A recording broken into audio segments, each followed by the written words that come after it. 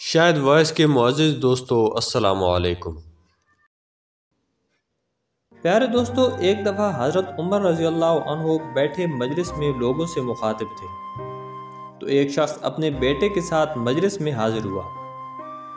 उसको देखकर हज़रत उमर रज़ी अल्लाह ने फरमाया कि मैंने आज तक ऐसी मुशाबत बाप और बेटे में नहीं देखी।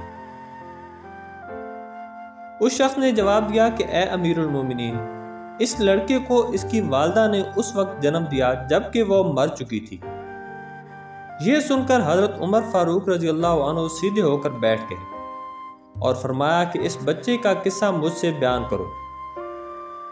चुनाचे उस शख्स ने कहा कि, ए अमीरुल मोमिनीन, एक मरतबा मैंने सफ़र का इरादा किया।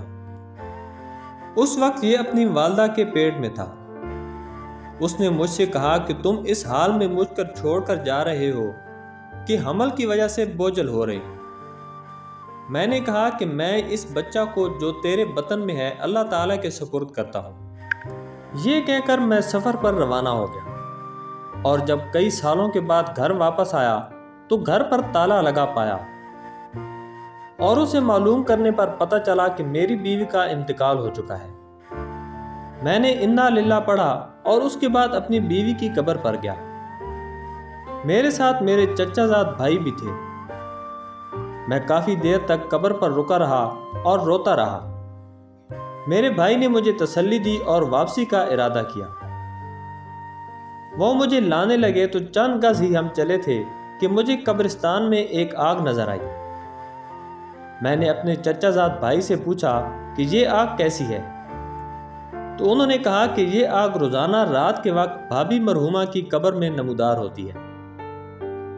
मैंने ये सुनकर फिर इन्ना लिल्ला पढ़ा और कहा कि मेरी बीवी नेक और तहजत गुजार थी। तुम मुझे दोबारा उसकी कब्र पर ले जाओ। चुनाचे वो मुझे कब्र पर ले गए। जब मैं कब्रिस्तान में दाखिल हुआ तो मेरे चचाजाद भाई वहीं ठिठक गए और मैं तनहा अपनी बीवी फरूमा की कब्र पर पहुँचा तो क्या देखता हूँ कि कब्र खुली हुई है और बीवी बैठी है। ये लड़का उसके चारों तरफ़ घूम रहा है। अभी मैं इस तरफ़ मुतवजा था कि एक गैबी आवाज़ आई, कि अल्लाह ताला को अपनी अमानत सुपुर्द करने वाले अपनी अमानत वापस ले ले। और अगर तू इसकी वालदा को भी अल्लाह ताला के सुपुर्द करता तो वो भी तुझको मिल जाती। ये सुनकर मैंने लड़के को उठा लिया। मेरे लड़के को उठाते ही कब्र बराबर हो गई। उस शख्स ने अमीरुल मोमिनीन से कहा कि, अमीरुल मोमिनीन ये किस्सा जो मैंने बयान किया अल्लाह की कसम सही है।